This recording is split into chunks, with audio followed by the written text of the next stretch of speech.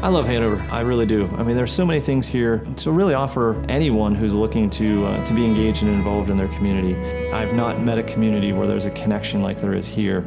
It's a community I'm, I'm proud of. It's a community where I feel like there are going to be so many positive influences for my children growing up. And I think one of the cool things about Hanover is we've got a small town feel here, but there's so much growth occurring and there's so much change as far as culture and diversity with the influx of that growth that I really see it as the perfect balance uh, in which to raise my children. 10 or 15 years from now, I see Hanover being even stronger and better than it is now.